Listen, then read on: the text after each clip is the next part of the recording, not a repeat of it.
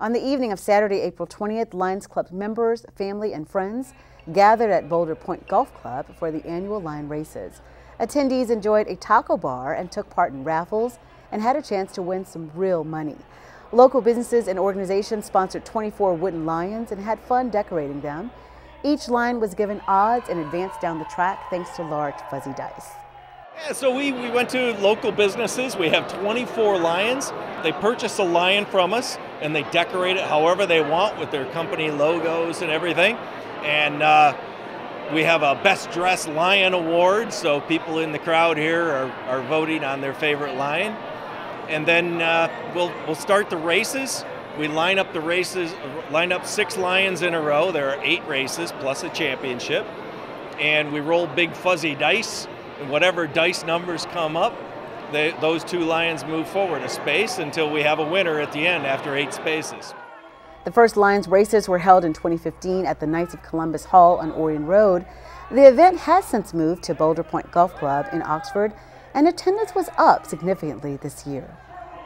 I all I can say is thank you so much for supporting this um, event because all the money we raise goes back to our community. I see a big banner that has sponsors on it too. What do you want to say to the sponsors?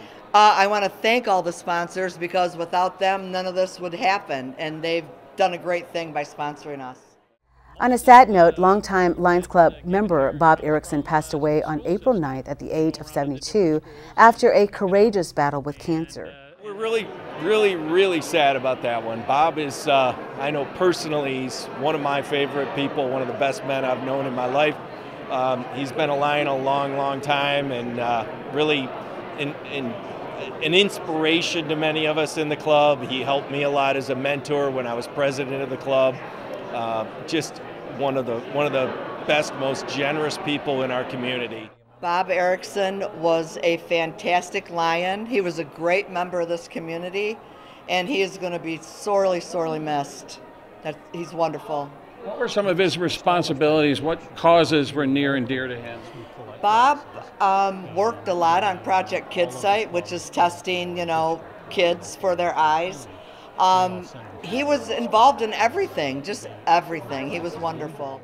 We have many different things that we support. One of the biggest things that we do is a Christmas basket program, and we feed about 215 families with two weeks worth of groceries over Christmas and about 80 single senior citizens.